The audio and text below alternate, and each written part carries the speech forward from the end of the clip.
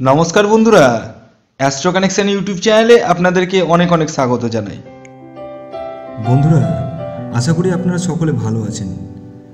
আজ আমি এই ভিডিওতে আপনাদেরকে জানাতে চলেছি, চোদ্দোশো সাতাশ বঙ্গাব্দে কোন কোন রাশির পুরনো প্রেম ফিরতে চলেছে।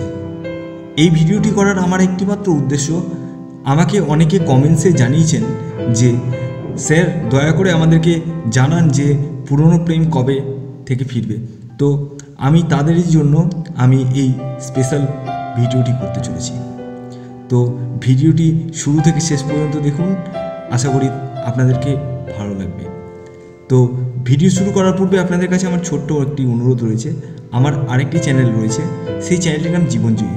এই চ্যানেলে আমি মোটিভেশনাল ভিডিও আপলোড করে থাকি।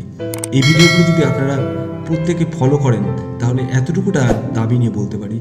আপনারা ভালো সময় কিংবা খারাপ সময়, উভয় সময়ে সঠিক ডিসিশন নিতে পারবেন এবং পাশাপাশি মানুষ চিনতে পারবেন। তাই বেশি দেরি না করে এখনই জীবনজয়ী চ্যানেলটিকে সাবস্ক্রাইব করে নিন। সাবস্ক্রাইব করার জন্য আপনারা বাংলাতে টাইপ করুন জীবনজয়ী এছাড়াও আমি একটি লিঙ্ক ডিসক্রিপশন বক্সে দিয়ে দিচ্ছি, সেখান থেকেও সাবস্ক্রাইব করে নিতে পারেন। তো বেশি দেরি না করে আসুন, শুরু করা যাক।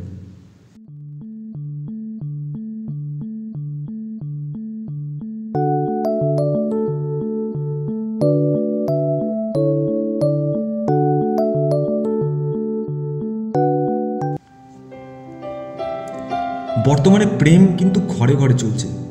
হ্যাঁ বন্ধুরা?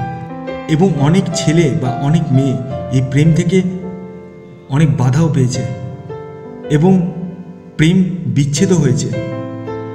এবং অনেকের এরকমও হয়েছে যে কোনো একটি ছেলে বা কোনো একটি মেয়ে রিলেশনশিপে রয়েছেন।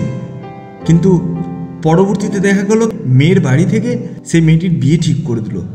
সেই রকম পজিশানে সেই ছেলেটির মনে অবস্থা কি হয় সেটা আশা করি সেই ছেলেটিই বলতে পারবে।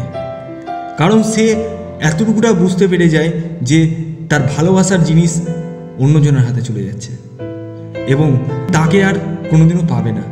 এই রকম ডিপ্রেশনে অনেক ছেলে সুইসাইড পর্যন্ত করে নেয়। এই প্রসঙ্গে একটা কথা বলে রাখি। আমাদের ছেলেদের মন খুবই পবিত্র এবং খুব ভালোই হয়। কারণ সবার ক্ষেত্রে বলব না, তবে নব্বই জনের ক্ষেত্রেই বলব। কারণ এরা যাকে ভালোবাসে, তাদেরকে ছাড়তে চায় না, যদি মন থেকে ভালোবেসে ফেলে।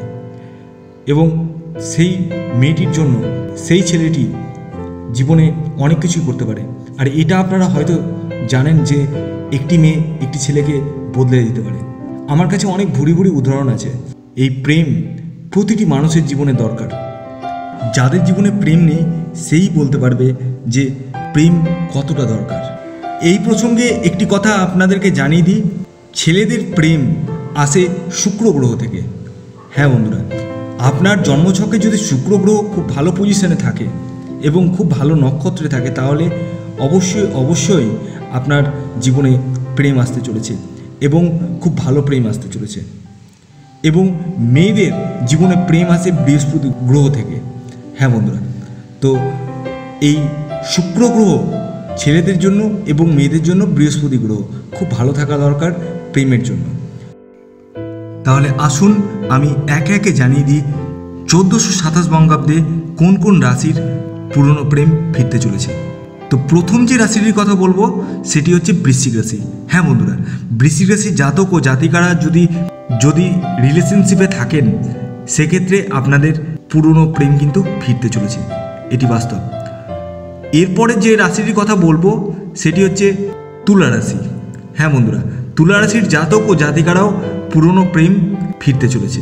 এরপরে যে রাশিটির কথা বলব, সেটি হচ্ছে কর্কট রাশি।